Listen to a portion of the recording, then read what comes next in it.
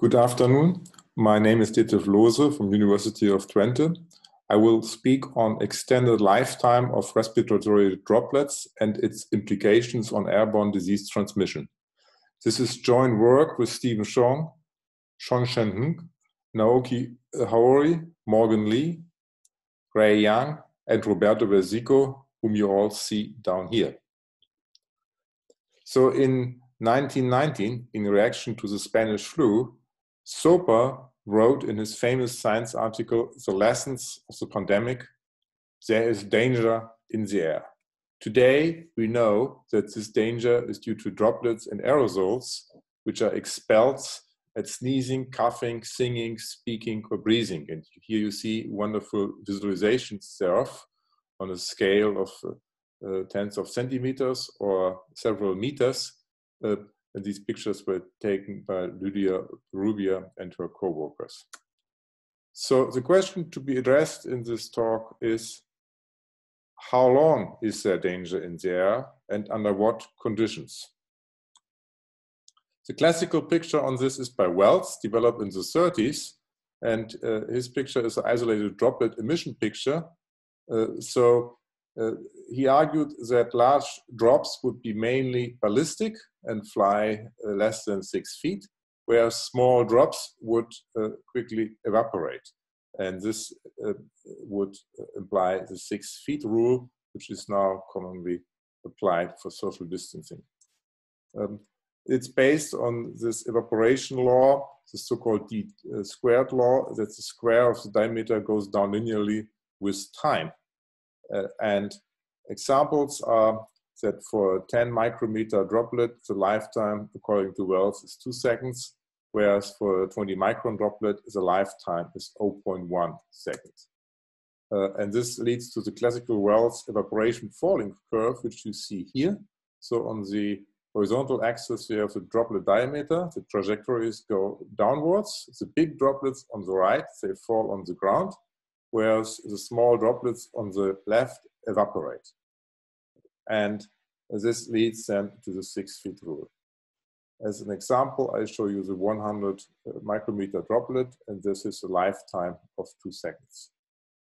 Um, no droplets should exist below this red curve because evaporation would imply a sharp cutoff. But this is really true? So we will address this question and the method we will use are direct numerical simulations. We will use Lagrangian tracking of every single droplet in space and time and size under extremely well, well defined conditions, which are possible in numerical simulations. We want to study the effect of the turbulent vapor path and the effect of ambient conditions, namely relative humidity and temperature. So the DNS approach in a nutshell, you use Wisniewski equation. The temperature and density field are fully coupled. The turbulent vapor path has a Reynolds number of about 10 to the 4. We use the Maxey-Riley point particle approach.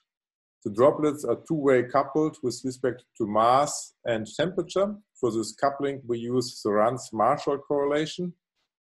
The initial droplet size distribution is from various experiments and we start with 5,000 droplets. Here you see a simulation. Uh, so the droplets are injected from the left. Um, this background color is the relative humidity. Black is uh, 90, uh, is the background humidity, and um, white and light red is a higher humidity.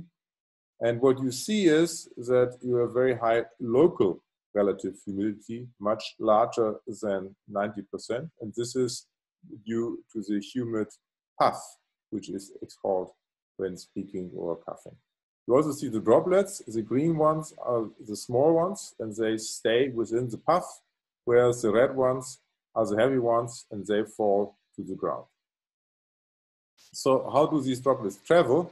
You see three types of droplets, 10 micrometer, 100 micrometer, and 1000 micrometer. And you see that the fat droplets fall to the ground. They indeed behave ballistically, whereas the small droplets are trapped in vortices here. And these vortices, where the uh, local relative humidity is very high, protect those droplets from evaporation. So you have strongly delayed evaporation as compared to Wells' picture. When we now look in the numbers, how strong is this evaporation delayed? Here we compare the droplet lifetime to the Wells droplet lifetime, and we see that the small droplets at a relative humidity are delayed uh, by a factor of 40 nearly. So they live much, much, much longer. And when you go to a relative humidity of 90%, uh, the delay uh, in, uh, in lifetime is in fact up to 150 times larger as compared to the Wells solution that you see here.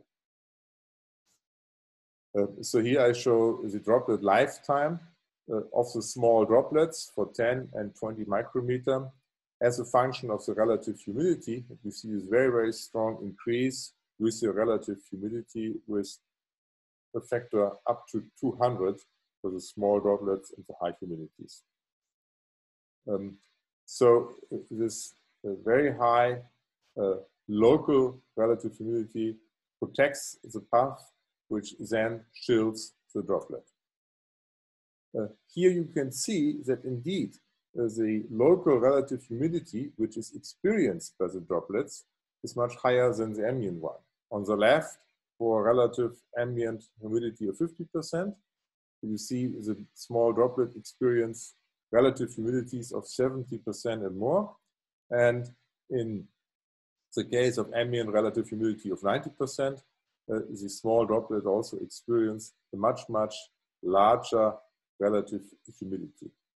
Uh, in fact, you can distribute this in two parts. The small droplets, they are shielded by the moist hot puff, um, whereas the large droplets, they are self-shielding because of the evaporated uh, vapor.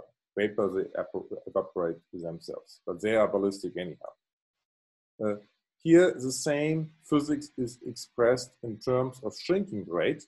Uh, I compare the shrinking rate um, of the droplet with the Wells shrinking rate. And you see the shrinking is way delayed. Here for um, relative ambient uh, humidity, it's delayed by a factor of 50 again. Uh, and for the large relative humidity of 90%, uh, it's delayed by a factor of 100. The larger droplets, in fact, they shrink faster, and the reason is that they fly. Uh, this is a convective effect, so no boundary layer can build up, and they fly, and they, in fact, the shrinking rate is, is higher. Uh, so what we can conclude is that the surrounding fluid, namely the humid puff, protects the small droplets from fast evaporation. And how do the absolute evaporation times compare to Wells' classical evaporation falling curve prediction? Here you see uh, this plot by Wells again. Um, and no, uh, no droplets should um, exist in this domain. When we now turn this around by uh, 90 degrees, the droplets are now flying to the right uh, and with time and uh, up here is the ground and those uh, small guys should evaporate and again no droplets should exist here. But when we compare this curve now with our numerics, this is shown here, you see that the reality is very different. This is a log scale. You see that many, many small droplets exist, where according to Wells, they should not exist. The count here is in fact at the maximum, uh, and they exist much, much longer. Uh, the majority, in fact, uh, exceeds the Wells uh, lifetime. Uh, and when you then translate this time into distance, uh, you get up to 2.4 meters here. and when um, you then have in fact successive, cuff, cuffing, it's much longer. Clearly, the six feet rule does not uh, uh, is not sufficient. What is the role of the ambient temperature? This is what you see here.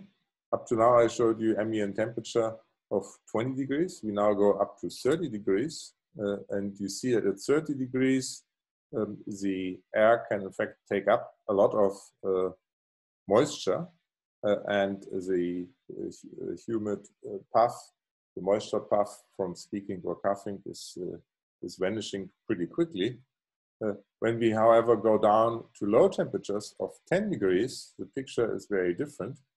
Now, uh, this uh, moisture puff has much higher coherence and a much longer lifetime, uh, and therefore the little drops are protected for much longer time, as you can see in this movie here.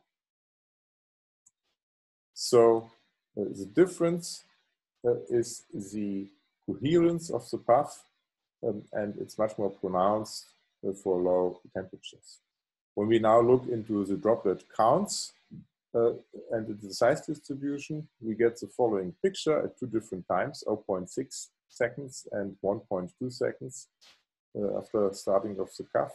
And the initial curve is this black curve here.